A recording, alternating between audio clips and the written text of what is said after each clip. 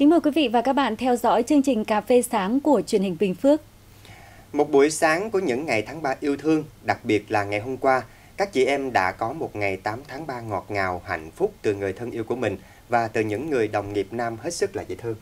À, vâng thưa quý vị, xã hội thì ngày càng phát triển ờ, thì phụ nữ càng được yêu thương, tôn trọng và trân quý hơn. Thế nhưng vẫn có một thực tế đang diễn ra, đó là vẫn có những định kiến cho rằng phụ nữ thường không giỏi toán và khoa học tự nhiên hay là phụ nữ thường gặp trở ngại trong tư duy cấu trúc, gây ra không ít những rào cản và sự mất cân bằng giới trong ngành khoa học kỹ thuật, công nghệ và toán học hay còn được gọi là STEAM. Định kiến này không chỉ khiến nhiều phụ nữ đắn đo khi quyết định có theo đuổi STEAM hay không, mà còn khiến họ tự giới hạn khả năng của mình theo các mặc định của xã hội. Hôm nay, chúng ta hãy cùng bàn về vị trí của phụ nữ trong ngành STEAM trong phần sau của chương trình. Còn bây giờ sẽ là những tin tức của cà phê sáng nay. Xin mời chị Minh Tuyết. Thưa quý vị, à, cây chuối thì vốn là loài cây thân thuộc được nhiều người dân trồng trong vườn nhà mình. À, cây chuối mang lại nhiều giá trị hữu ích cho con người bởi hầu như từ trái, lá và cả thân cây chuối nữa đều có thể sử dụng được vào các mục đích khác nhau. Ngay sau đây chúng tôi cũng đề cập đến loại cây này nhưng là những cây chuối đột biến độc lạ so với loại chuối thông thường đang được người dân trồng hiện nay.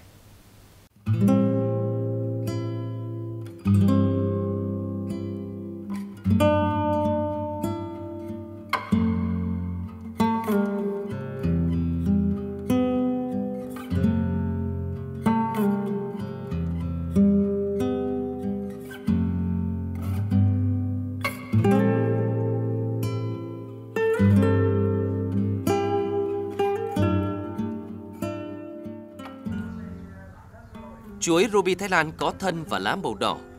Cây chuối Florida có lá màu xanh xen lẫn vân vàng nhạt. Loài chuối Papua Thái Lan có trái màu xanh xen lẫn vân trắng. Cây chuối Red Tiger màu đỏ nhạt, thân có sọc trắng. Cây chuối Tami màu xanh xen lẫn mảng màu trắng hay là cây chuối Việt Nam đột biến là những giống cây chuối đang được anh Lê Tuấn Anh, xã Long Hà, huyện Phú Riềng, tỉnh Bình Phước trồng trong vườn nhà. Bây giờ thì chưa ai chơi. Ở Việt Nam này thì uh, mấy anh em thấy trên mạng người ta đăng lên cái chuối này ở tại bên Thái á, thì cũng nhờ người quen biết này kia rồi cũng mang về để anh em sưu tầm để ngắm thôi. Thì sau này thì thị trường thu hút thì mình uh, được anh em uh, nhiều người chơi và có thành ra cái hội rồi anh em cùng sưu tầm cùng trao đổi kinh nghiệm vậy đó. Hai năm nay, anh Lê Tuấn Anh đã kỳ công sưu tầm tìm mua các giống cây chuối độc lạ về trồng trong vườn. Đây là những loài chuối thuộc hệ cây kiểng chơi lá, có nghĩa là mỗi cây chuối đột biến có sự khác biệt bởi hình dạng, màu sắc của lá và thân trên cây chuối. Căn cứ vào lá chuối để xác định giá trị của cây. Theo anh Tuấn Anh, mặc dù cùng trong một bụi cây, nhưng lá và màu sắc của cây cũng khác nhau. Không cây nào giống cây nào, vì vậy giá trị của loài cây chuối này trong mắt người chơi cũng vì thế mà có sự khác biệt nó không khác gì chuối mình hết. Quan trọng là mình nâng niu nó hơn chuối mình thì mình sẽ đưa nó vào một cái cái khuôn viên đẹp hơn chăm kỹ hơn thôi để mình ngắm cái lá nó thôi. Đó, đó là hệ chơi lá. Còn chuối mình mình ăn quả thì cái lá nó sao cũng được. Trên thực tế, giống chuối đột biến có lá lâu tàn, trồng từ 2 đến 4 năm mới nở hoa, ra trái, nên cây rất bền, được nhiều người trồng làm cây cảnh tại các quán cà phê biệt thự. Cùng với trầu bà Nam Mỹ, môn Ai Cập, chuối đột biến đang là loài cây kiểng chơi lá độc lạ được nhiều người chơi cây kiểng tại Việt Nam ưa chuộng. Vì thế giá của những cây chuối đột biến ở mức khá cao, có cây giá trị hàng chục triệu đến gần trăm triệu đồng.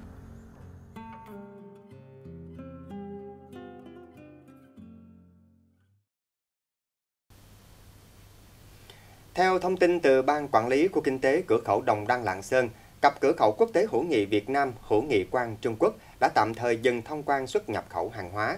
Nguyên nhân là do trước đó vào ngày 6 tháng 3, vì phát hiện có lái xe chuyên trách Trung Quốc dương tính SARS-CoV-2, nên phía Trung Quốc phải thực hiện xét nghiệm COVID-19 cho toàn bộ nhân dân và các lực lượng chức năng tại cửa khẩu.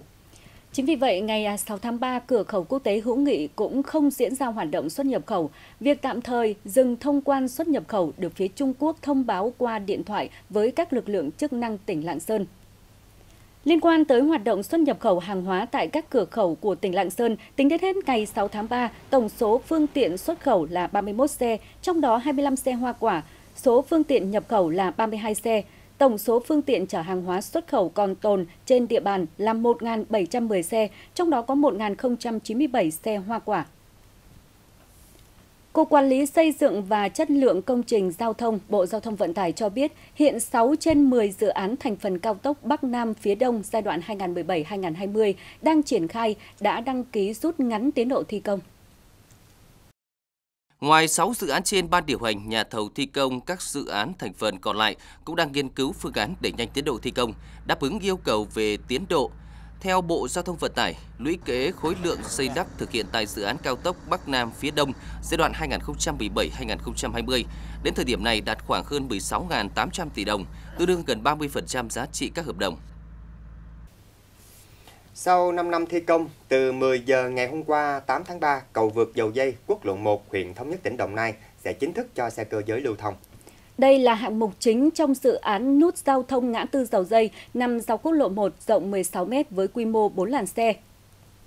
Dự án được khởi công xây dựng từ tháng 3 năm 2017, dự kiến hoàn thành và đưa vào sử dụng vào tháng 3 năm 2018.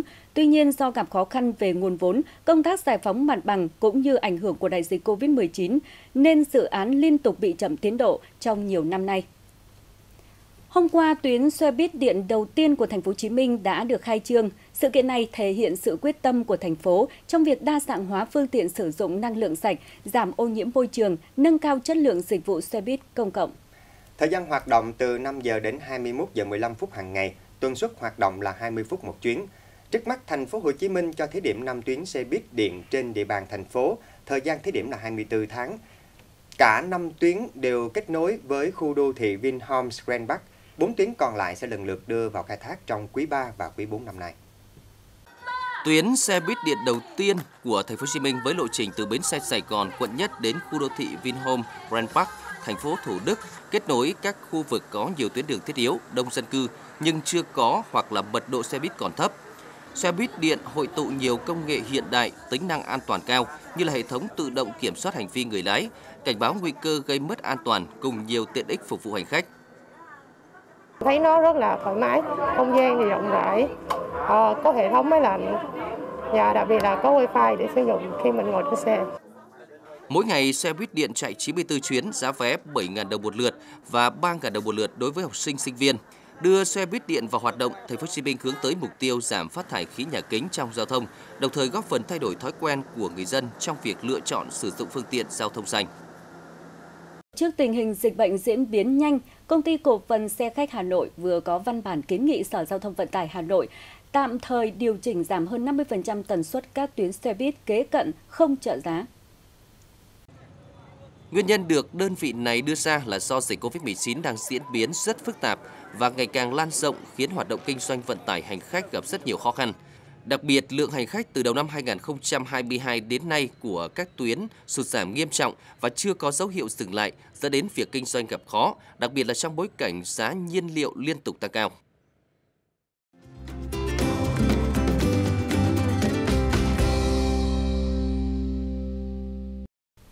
Thưa quý vị, trước việc nhiều người dân tự mua thuốc kháng virus Monubiravir ở hiệu thuốc lẫn trên thị trường chợ đen, thì Sở Y tế thành phố Hồ Chí Minh đã ra khuyến cáo người dân không nên mua tích trữ vì nguồn thuốc Monupiravir trên thị trường không thiếu. Hiện thành phố cũng còn 29.000 liều phát miễn phí. Mặt khác, thuốc kháng virus hạn sử dụng ngắn chỉ từ 6 đến 8 tháng, chữ lâu sẽ không có lợi. Đặc biệt, Monupiravir là thuốc điều trị kê toa, người bệnh bắt buộc phải đáp ứng đủ điều kiện mới được sử dụng thuốc. Khi dùng thì cần phải tuân thủ nghiêm hướng dẫn của cơ sở y tế. Theo Sở Y tế Thành phố Hồ Chí Minh, hiện Thành phố Hồ Chí Minh còn khoảng 29.000 liều thuốc kháng virus đang cấp phát miễn phí cho F0 đủ điều kiện tại các trạm y tế cố định và lưu động. Đồng thời, Bộ Y tế đã cấp phép sản xuất thuốc Monopiravir cho 3 doanh nghiệp dược. Năng lực sản xuất của các đơn vị này là khoảng 2 triệu viên thuốc một tháng. Sắp tới, Bộ Y tế sẽ cấp phép sản xuất Monopiravir cho các công ty dược đủ điều kiện khác. Vì vậy, nguồn thuốc Monopiravir trên thị trường không thiếu. Thưa quý vị, những căng thẳng chưa có dấu hiệu hạ nhiệt tại Ukraine đã khiến thị trường chứng khoán châu Á, từ Nhật Bản, Hàn Quốc tới Trung Quốc trải qua một ngày giao dịch đỏ lửa. Diễn biến này nối tiếp đà giảm điểm trong tuần trước, khiến các chuyên gia lo ngại sẽ gây ra những ảnh hưởng nặng nề đến sự phục hồi của kinh tế toàn cầu sau đại dịch Covid-19. Trong ngày giao dịch đầu tiên của tuần mới, chỉ số Shanghai Composite của Trung Quốc giảm 2,17%, chỉ số Kospi của Hàn Quốc giảm gần 2,3%, trong khi chỉ số Nikkei của Nhật Bản cũng bốc hơi gần 3%, xuống mức thấp nhất kể từ tháng 11 năm 2020. Chứng khoán Ấn Độ cũng nằm trong top bị bốc hơi nhiều nhất kể từ khi xảy ra xung đột quân sự ở Ukraine. Tâm lý lo lắng về nguy cơ lạm phát toàn cầu là nguyên nhân khiến các nhà đầu tư hoảng loạn và kích hoạt làn sóng bán tháo trên các thị trường. Trái ngược với đà lao dốc trên thị trường chứng khoán, thị trường kim loại lại liên tục xác lập các đỉnh giá mới do những lo ngại về nguy cơ đứt gãy nguồn cung nếu chiến sự tại Ukraine còn kéo dài. Đây là xu hướng không nằm ngoài dự đoán của nhiều người, nhất là trong bối cảnh ngày càng có nhiều thông tin dự báo tiêu cực về tình hình Ukraine trong thời gian tới. Theo đó, trong phiên giao dịch gần nhất, giá nhôm đã lần đầu tiên vượt ngưỡng 4.000 đô la Mỹ một tấn khi neo ở mốc 4.026,50 đô la Mỹ. Đồng cũng xác lập định giá mới ở mức 10.845 đô la Mỹ một tấn, trong khi Nikkei tăng phi mã hơn 25%. Vàng cũng đã lần đầu tiên vượt mốc 2.000 đô la Mỹ một ao, tiếp tục được chứng minh là kênh trú ẩn an toàn mỗi khi có chiến sự xảy ra. Trong khi đó, giá dầu ngày càng tiệm cận mốc 140 đô la Mỹ một thùng, mức cao kỷ lục trong gần 14 năm qua.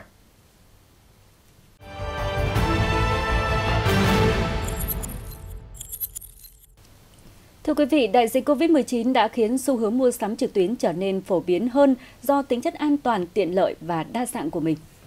Chính vì vậy, các trung tâm thương mại tại Pháp, nơi được mệnh danh là thiên đường mua sắm của thế giới, đang phải gấp rút tìm hiểu mô hình mới để tồn tại, phát triển và giành lại vị thế ban đầu. Các trung tâm mua sắm truyền thống tại Pháp với thời gian hoạt động giới hạn lại bị đóng cửa bởi các quy định hạn chế trong đại dịch đã phải chứng kiến lượng khách giảm tới hơn 28% trong năm 2020 và giảm thêm 0,8% vào năm 2021 trong khi đó, các giao dịch thương mại trực tuyến với đặc tính hoạt động suốt ngày đêm đã đạt được những con số tăng trưởng ấn tượng, đặc biệt trong 4 năm trở lại đây. Quyết tâm không để làn sóng kỹ thuật số lấn át các trung tâm mua sắm đang phấn đấu trở thành các trung tâm giao dịch đa chiều, đa phương tiện, kết hợp giữa thương mại truyền thống với ứng dụng kỹ thuật số để đáp ứng mọi kỳ vọng của người tiêu dùng cũng như là người bán hàng. Để thực hiện được điều này, tập đoàn Galimbo đặt mục tiêu sẽ xây dựng khoảng 20 trung tâm thương mại trong vòng 2 đến 3 năm tới các trung tâm còn được mở rộng kinh doanh sang các lĩnh vực khác như sức khỏe và làm đẹp, đồng thời phát triển thành tổ hợp vui chơi giải trí để làm nổi bật các tiện ích của mình. Theo Hiệp hội các trung tâm thương mại Pháp, việc đẩy mạnh hướng phát triển đa phương tiện, đa giao tiếp và đa chức năng sẽ là sự lựa chọn đúng hướng trong bối cảnh hiện nay và cả trong tương lai.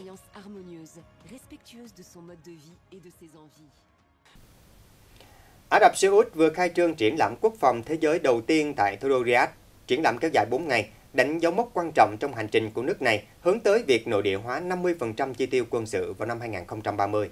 Triển lãm quốc phòng thế giới do Tổng cục Công nghiệp Quân sự Ả Rập Saudi Kemi thành lập dự kiến sẽ được tổ chức 2 năm một lần để trưng bày những công nghệ mới nhất của các nước trên thế giới. Kami hy vọng thông qua triển lãm sẽ giới thiệu những thành tựu phát triển công nghiệp quốc phòng của Ả Rập Saudi tới các đối tác quốc tế. Triển lãm gồm 15 gian hàng quốc gia với tổng diện tích trưng bày 900.000 m2, thu hút hơn 600 nhà triển lãm đến từ 45 quốc gia và khu vực. Ban tổ chức đánh giá hiện tại là thời điểm tốt nhất cho việc thúc đẩy hợp tác hệ sinh thái quốc phòng và an ninh của Ả Rập Saudi trong bối cảnh nước này đang nỗ lực chuyển đổi ngành công nghiệp non trẻ có tiềm năng này.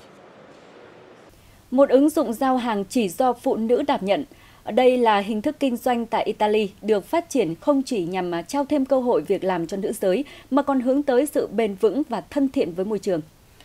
Ứng dụng có tên là Taki, tạm dịch là vận chuyển tất cả mọi thứ, được ra mắt hồi tháng 10 năm ngoái tại thủ đô Rome của Italy. Tại KTV, mỗi nữ nhân viên đều được trang bị một thiết bị cảnh báo cá nhân để họ có thể gửi tín hiệu khẩn cấp khi cảm thấy gặp nguy hiểm hoặc là không thoải mái. Ý tưởng này giúp các nhân viên cảm thấy an toàn hơn, đặc biệt là khi làm việc vào buổi tối. Đặc biệt không giống các dịch vụ giao hàng khác, Takeve không trả công theo từng chuyến hàng mà ký hợp đồng làm việc với mức lương toàn thời gian khoảng 800 euro một tháng, với đầy đủ các chế độ bảo hiểm cần thiết. Tại Italy, chỉ có 5% nhân viên giao hàng là nữ giới và Takeve mong muốn ý tưởng của mình sẽ giúp phụ nữ có thêm nhiều cơ hội việc làm hơn.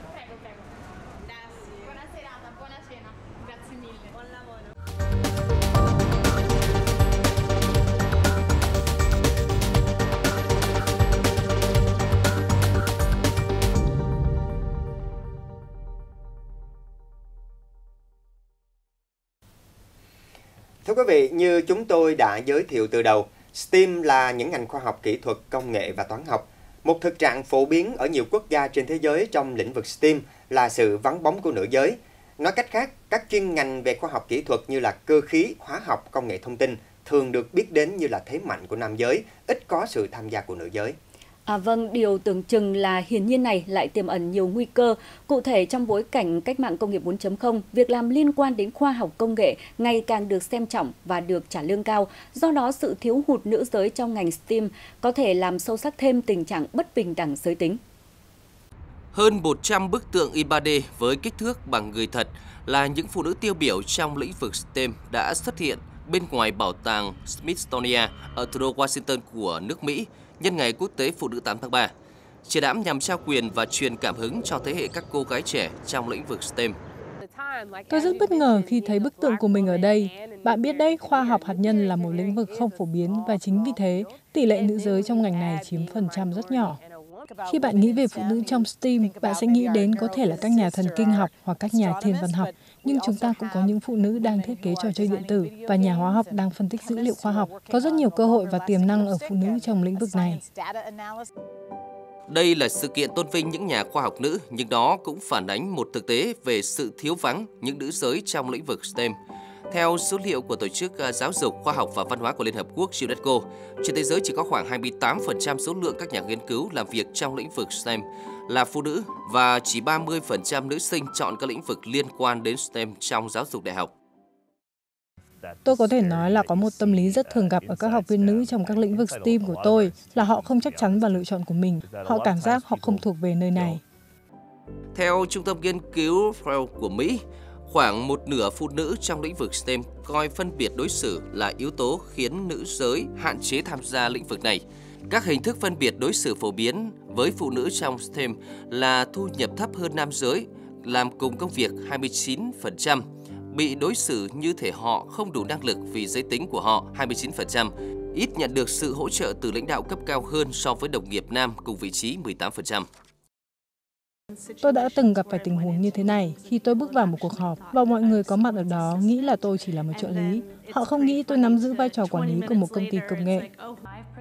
Thiếu vắng những người dẫn dắt là nữ giới cũng là một rào cản khi phụ nữ muốn tham gia STEM. Đa phần phụ nữ phải tự loay hoay tìm lối đi riêng cho mình trong lĩnh vực STEM. Họ cần được động viên và tạo điều kiện để phát huy hết khả năng của bản thân. Khi tôi gặp gỡ những cô gái trẻ ở trường học, tôi luôn động viên họ rằng không có nơi nào mà họ không thuộc về. Trong lĩnh vực STEAM, bạn có tương lai tốt, thu nhập tốt. Điều mà tôi muốn nói với những bạn trẻ muốn tham gia vào lĩnh vực STEAM rằng bạn là một nửa của thế giới. Chắc chắn phụ nữ có thể tạo nên những tác động to lớn với vận mệnh của thế giới. Thế giới cần bạn. Trong bối cảnh cách mạng công nghiệp 4.0 hiện nay, lĩnh vực khoa học công nghệ ngày càng được xem trọng và cần nguồn nhân lực. Do đó, sự thiếu hụt nữ giới trong ngành STEM có thể làm sâu sắc thêm tình trạng bất bình đẳng giới tính. Mặt khác, bỏ quên nữ giới cũng tương tự như lãng phí mất một nửa nguồn nhân lực để phục vụ cho nền kinh tế số hóa, công nghệ cao. Thưa quý vị, công viên giải trí Disneyland tại thủ đô Paris của Pháp cuối tuần qua vừa khởi động chuỗi sự kiện kỷ niệm 30 năm chính thức đi vào hoạt động. Và trong phần cuối của chương trình hôm nay, xin được mời quý vị cùng chúng tôi đến thăm địa điểm nổi tiếng này của Paris để hòa vào không khí sôi động của hàng loạt sự kiện đặc sắc dành riêng cho du khách dịp này. Phía trước tòa lâu đài lộng lẫy, những nghệ sĩ trong trang phục nhân vật mang tính biểu tượng của Disney đã cùng nhau biểu diễn những tiết mục đặc sắc mừng kỷ niệm 30 năm công viên giải trí Disneyland đi vào hoạt động. Những ngày này, khu giải trí nằm cách Paris 40 km này trở nên sôi động khi rất đông du khách, đặc biệt là trẻ em, đã đổ về đây để tham dự chuỗi sự kiện đặc biệt đang diễn ra. Lễ kỷ niệm ra mắt vào thứ Bảy đã chứng kiến sự ra mắt của nhiều chương trình mới, có các nhân vật Disney mới và bao gồm cả màn trình diễn ánh sáng hàng đêm, trong đó 150 máy bay không người lái tạo thành biểu tượng kỷ niệm 30 năm trên bầu trời phía trên lâu đài. Mở cửa lần đầu tiên vào ngày 12 tháng 4 năm 1992, Disneyland Paris là công viên giải trí lớn nhất châu Âu và thu hút 15 triệu du khách mỗi năm trước đại dịch. Thông tin vừa rồi cũng đã khép lại 20 phút của cà phê sáng nay. Chúc quý vị thật nhiều năng lượng để làm việc hiệu quả, thật nhiều sức khỏe để sống hạnh phúc hơn. Và quý vị cũng không quên thực hiện thật nghiêm thông điệp 5K quý vị nhé, để hạn chế trở thành F0. Còn bây giờ xin kính chào và hẹn gặp lại quý vị.